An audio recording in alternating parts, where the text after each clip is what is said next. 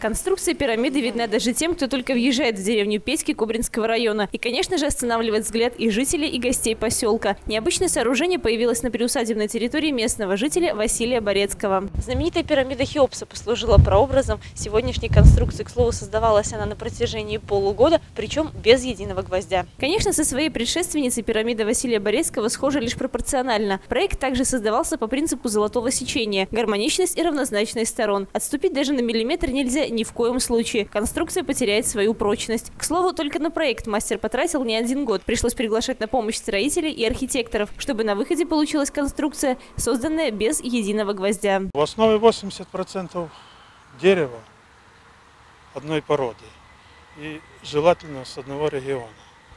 Ну вот с мая месяца начал, приступил к работе и собирал. Проблема со строителями. Хорошо, что у меня есть родственники, которые строят церкви. И вот мы с ними собрали эту конструкцию в течение полугода, можно сказать. В основе проекта пирамиды многочисленные наработки, которые Василий Борецкий собирал годами. Увлечение этими необычными конструкциями появилось у него еще в юности. С тех пор многое поменялось, однако жажда к познанию этих уникальных объектов не остыла. Я много литературы прочитал. Ну и все расчеты, потому что вот эта пирамида делается э, золотое сечение. Тут должно все соответствовать. Все размеры, даже сантиметровая погрешность не допускается.